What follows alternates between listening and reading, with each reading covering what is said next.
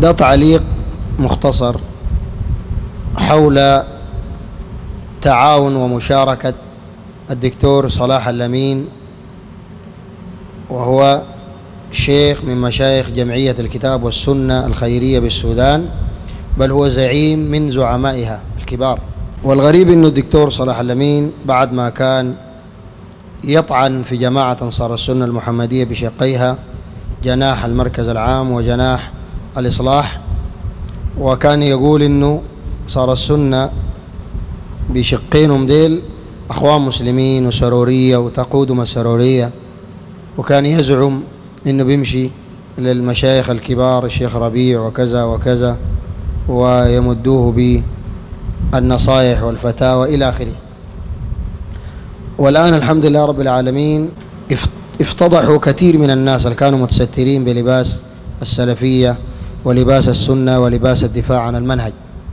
فهو ده الآن الدكتور صلاح اللمين محمد أحمد يشارك في المؤتمر الخامس لجماعة أنصار السنة المحمدية المركز العام بقيادة إسماعيل عثمان. يشارك معاهم بورقة قدمها والمؤتمر ده والجلسة دي مليئة بأهل البدع والزيغ والضلال. أولهم شيوخ المركز العام لأنصار السنة دكتور إسماعيل عثمان وغيره وغيره وغيره من الإخوان المسلمين. وتانيهم هيئة شؤون الأنصار.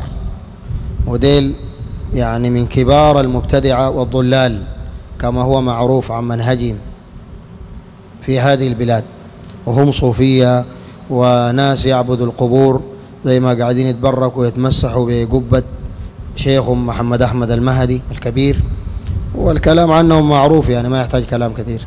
لكن الغريب والعجيب أنه صلاح الأمين كان بينكر مجالسة أهل البدع ويسرد آثار السلف الصالح ويزعم أنه يدافع عن المنهج السلفي وعن العقيدة وعن منهج أهل السنة والجماعة. وكان ينهانا لما كنا طلبته وينهى غيرنا من طلبته من مجالسة هؤلاء الحزبيين وأهل البدع. ويقول دي الأخوان مسلمين عديل. سبحان الله الآن ملموم مع هيئة شؤون الأنصار. ودي الوثائق كلها الآن تشوفها بعينك. إنه هو جالس في وسط هؤلاء الضلال وهؤلاء المبتدعة وحكم هذه المشاركات مع أهل البدع والجلوس معهم واضح في الإسلام ومتفق عليه لا خلاف فيه. لأنه السلف الصالح قالوا من خفيت علينا بدعته لم تخفى علينا ألفته. والحمد لله الآن يعني ظهرت ألفة صلاح اللمين لهؤلاء وظهر التناقض بتاعه العجيب وإنه كان بيحذر منهم تحذير شديد جدا وما عنده هم إلا هؤلاء في الغالب. والآن بقى معاهم ويشارك معاهم. وهو من البداية ليه أصلا خلاهم وطلع عمل جمعية الكتاب والسنة الخيرية. ليه؟ ليه خلى أنصار السنة؟ ما كان مع أنصار السنة. قالوا لأنه ديل جابوا بدع وجابوا ضلالات. والآن لما أنصار السنة ضلوا زيادة وابتدعوا زيادة. وكل إنسان وحتى العوام عرفوا ضلالات وبدع وانحراف أنصار السنة عن منهج. أهل السنة والجماعة وعن المنهج السلفي مشي يشارك معهم. سبحان الله سبحان الله لكن لعلها والله أعلم يعني هي المصالح أو غير ذلك.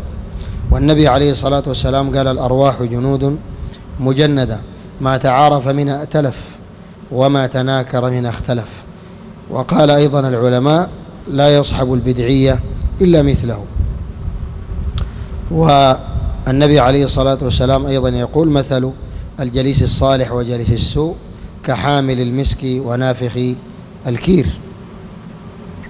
وقال أيضا العلماء استدلوا ونقلوا قول بعضهم عن المرء عن المرء لا تسأل وأبصر قرينه إن القرين بالمقارن يقتدي.